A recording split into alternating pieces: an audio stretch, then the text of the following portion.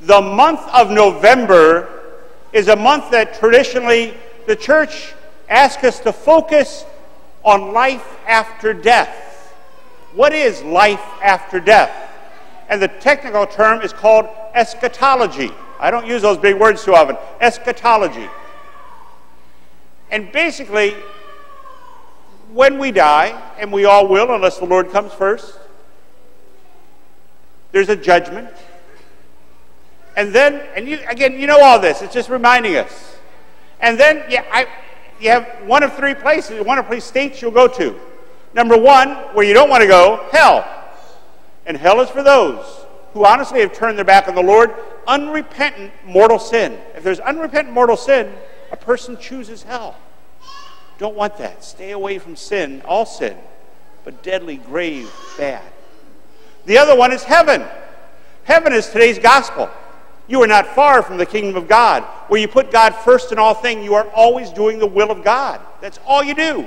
You want to do the will of God. We're going to have some saints up here in a moment. That's what they did. They did the will. They grew to, to do the will of God. We grow to this. We grow to this. Heaven is perfect in all ways. The third place, which is so vital, I'm going to mention something about it in a moment, is the state of what we call purgatory. And purgatory is a wonderful spot in the case, in the sense that if I were to die right now, I have no unrepentant mortal sin, so hell's out, as far as I can tell. God's a judge. Heaven, there's no way that I'm living this gospel like I should. I try my best, but I'm not living, I'm not ready for heaven. You do not want to live with me for all eternity as I am. God still has work to do with me. But purgatory is where the Lord says, I basically, when I die and judge, Romano Guardini, a great theologian, says it's sort of like you die, you come before Christ, who is the fullness of humanity.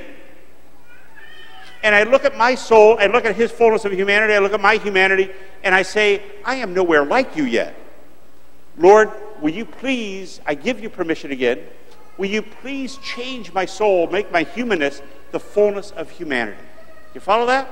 So many people say, I, I only did that because I'm human. Okay, I do something dumb. I only do that because I'm human. That's not right. We do dumb stuff and sin because we are not human enough. Humanity, the fullness of humanity, is, the, is Christ Himself. And so when I die, if I'm not the fullness of humanity yet, taking on the likeness of Christ, I'm not ready for heaven. And so I'm asking the Lord, God, will you please, in your mercy, continue to purge me of my sins and faults and desires that are wrong? And the Lord in his teachings has told us, yes, I will. I will purge you of that. And that's where purgatory comes in. This is where we all come in. Jesus is the say he's the intercessor. But we're his children by baptism. We are his body. He allows us in charity to pray for the dead.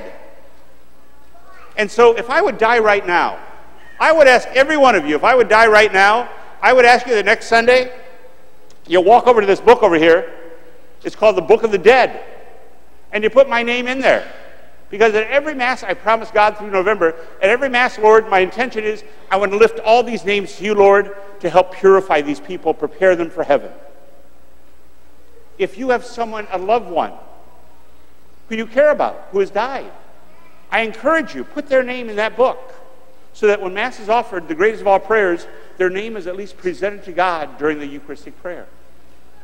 The other thing is, if I died, I'd also ask every one of you, I need all the help I can get through the body of Christ to offer a Mass for me. And again, if you have a loved one, the greatest prayer we can offer for a loved one who's died to get them into heaven if they aren't there yet, and no prayer is ever wasted, but to offer a Mass for them, it allows our action there of asking for a Mass to be offered to purify that person to get him into heaven. And again, it's a simple thing to do. You can offer a Mass for a lot of other things for birthday, somebody's birthday, an anniversary, uh, whatever it may be, for peace in the world, for vocations.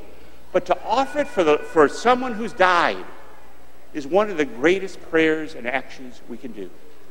So just encourage you to do, teach this to our children and grandchildren, and ourselves live that out.